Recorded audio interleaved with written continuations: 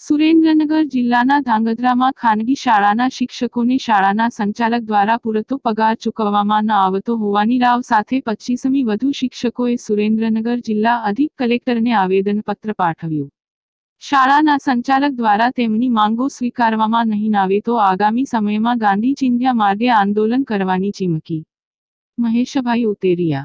ધાંગધ્રાથી આવું અને અમે છેલ્લા ઘણા બધા વર્ષોથી ધાંગધ્રામાં આવેલી સાધના વિદ્યાલયની અંદર શિક્ષક તરીકે ફરજ બજાવી છે.